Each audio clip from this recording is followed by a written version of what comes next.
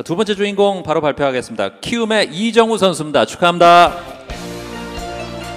이정우 선수는 140경기에 출전해서 타율 3할 3푼 6리 10홈런 68타점을 기록했습니다. 왼손 투수 상대 타율이 3할 6푼 4리로 왼손 타자 중에 리그 1위입니다.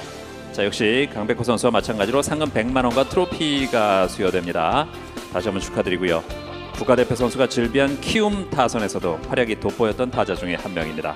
두 번째 수상자 키움 히어로즈의 이정우 선수 지금 무대에서 만나보고 있습니다. 자, 두 선수 함께 기념 촬영하겠습니다. 자, 무대로 나와 주시고요. 자, 앞쪽을 보시고 자, 밝은 미소를 부탁드리겠습니다. 자, 강백호 선수와 이정우 선수. 자, 촬영이 끝나면 역시 소감을 간단하게 듣는 시간 갖도록 하겠습니다. 이정우 선수의 수상 소감도 이어서 들어보고 싶네요.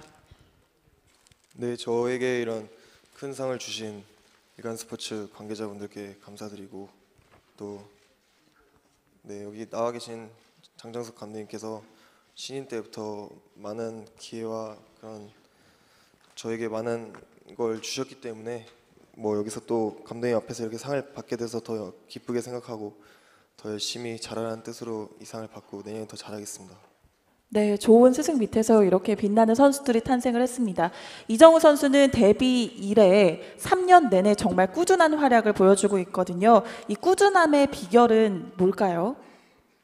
어, 음, 일단 저희 팀에서 뭐 여기 상수 선배님도 계시고 또 타자에는 박병호 선배님도 계시고 먼저 선배님들께서 솔선수범하면서 이렇게 루틴을 지키시는 모습을 보여주시면서 저희 어린 선수들도 좀 많이 보고 따라하려고 그렇게 하다 보니까 저도 하루라도 빼먹지 않고 좀 루틴을 중요시 하다 보니까 계속 꾸준하게 결과가 나오는 것 같습니다.